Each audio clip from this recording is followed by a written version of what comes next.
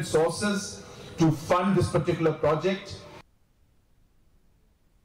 The Meghalaya BJP unit has announced plans to honor the state's freedom fighters on August 12th and 13th.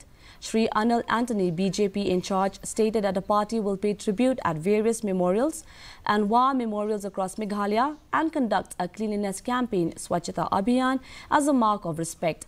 The party will also observe the Har Ghar Tiranga campaign from August 11 to 14, featuring Tiranga Yatras, flag marches in every assembly constituency, bike rallies, marathons and Padayatras foot marches to promote unity and integrity.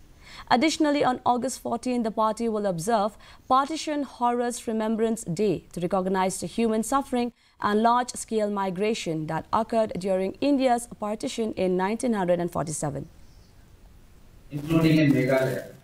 Tiranga Yatras will be held, which will be participated by all the public. Every citizen is requested to be a part of it.